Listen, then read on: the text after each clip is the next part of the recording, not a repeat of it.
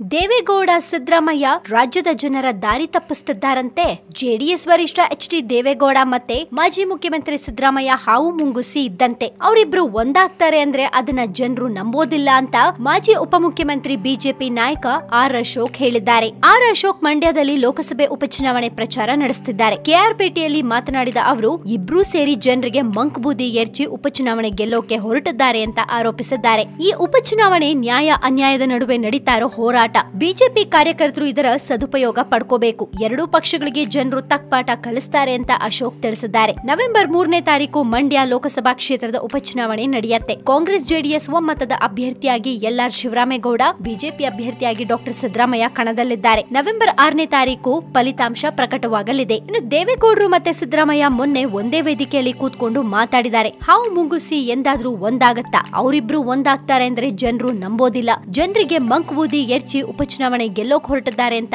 R Ashok ಆರೋಪಿಸಿದ್ದಾರೆ. ಎರಡ್ ಸಾವಿರದ ಹದಿನೆಂಟರ ವಿಧಾನಸಭೆ ಚುನಾವಣೆ ಆದ್ಮೇಲೆ ಅಪವಿತ್ರ ಮೈತ್ರಿ ಮಾಡಿಕೊಂಡು ಈ ತಾಲೂಕಿನ ಸುಪುತ್ರ ಬಿಎಸ್ ಯಡಿಯೂರಪ್ಪನವರು ರಾಜ್ಯದ ಮುಖ್ಯಮಂತ್ರಿ ಆಗೋದನ್ನ ತಪ್ಪಿಸಿದ್ದಾರೆ. ಜನರು ಕೊಟ್ಟ ಆದೇಶವನ್ನ ತಿರಸ್ಕಾರ ಮಾಡಿ ಸರ್ಕಾರವನ್ನ ರಚನೆ ಮಾಡಿದ್ದಾರೆ ಅಂತ ಅಶೋಕ್ ದೂರಿದ್ದಾರೆ. ಇನ್ನು ರಾಜ್ಯದಲ್ಲಿ ಸರ್ಕಾರ ಬಂದು ಐದ್ ತಿಂಗಳು ಕಳೆದಿದೆ. ಆದ್ರೆ ಸರ್ಕಾರ ಇದೆ ಅನ್ನೋ ನಂಬಿಕೆನೆ ರಾಜ್ಯದ ಜನರಿಗೆ ಇಲ್ಲವಾಗಿದೆ. ರೈತರ ಎಲ್ಲಾ ಸಾಲ ಮನ್ನಾ ಮಾಡೋದಾಗಿ ಹೇಳಿದ್ದ ಮುಖ್ಯಮಂತ್ರಿಗಳು ಏದುಸಿರು ಬಿಡ್ತಿದ್ದಾರೆ. ಇದರಿಂದ ರೈತರು ಹತಾಶರಾಗಿ ಆತ್ಮಹತ್ಯೆಗೆ ಇಳಿದಿದ್ದಾರೆ ಮಂಡ್ಯ ಜಿಲ್ಲೆಯಲ್ಲೇ ಇನ್ನೂರ ಐವತ್ತಕ್ಕೂ ಅಧಿಕ ರೈತರು ಆತ್ಮಹತ್ಯೆ ಮಾಡಿಕೊಂಡಿದ್ದಾರೆ ಅಂತ ಆರೋಪಿಸಿದ್ದಾರೆ. ಇನ್ನು ಶಿವಮೊಗ್ಗ, ಮಂಡ್ಯ ಕ್ಷೇತ್ರದಲ್ಲಿ ಕಾಂಗ್ರೆಸ್ ಅಭ್ಯರ್ಥಿಯನ್ನೇ ಕಣಕ್ಕಿಳಿಸದೆ ಜೆಡಿಎಸ್ ಪಕ್ಷಕ್ಕೆ ಶರಣಾಗಿದೆ. ಇದು ರಾಷ್ಟ್ರೀಯ ಪಕ್ಷದ ಲಕ್ಷಣ ಅಲ್ಲ. ಇದರ ಲಾಭವನ್ನ ಬಿಜೆಪಿ ಕಾರ್ಯಕರ್ತರು ಪಡ್ಕೋಬೇಕು. ಈ ಉಪಚುನಾವಣೆ ನ್ಯಾಯ ಅನ್ಯಾಯಗಳ ನಡುವೆ ನಡೀತಾ ಇರೋ ಹೋರಾಟವಾಗಿದೆ ಅಂತ ಅಶೋಕ್ ತಿಳಿಸಿದ್ದಾರೆ.